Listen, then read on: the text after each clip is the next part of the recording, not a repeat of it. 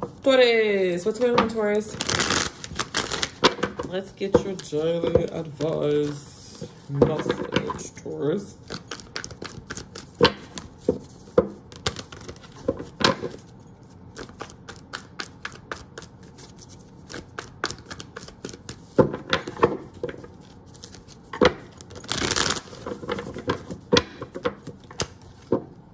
Happy Tuesday.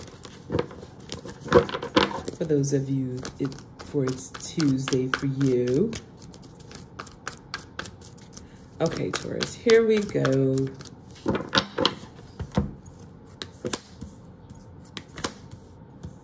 Everything is fine. Everything will be fine if you get out of your head. Stop looking at what you didn't get, what you didn't have, because what you ask for now or what you need is getting ready to come through. Confidence is key before you ask for anything.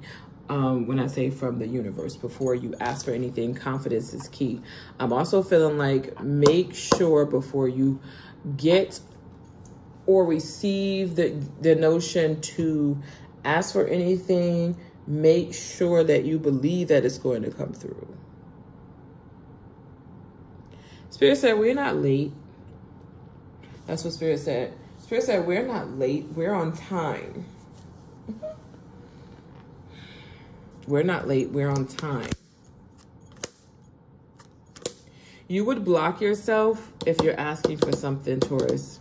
You would block yourself if you're asking for something because it's sitting there ready to come in for you.